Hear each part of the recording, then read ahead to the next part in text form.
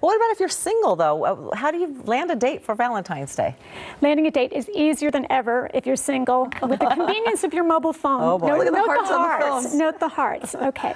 Um, sign up for a mobile dating app ASAP, whether it's Bumble or Tinder or even Match.com and OkCupid of mobile apps.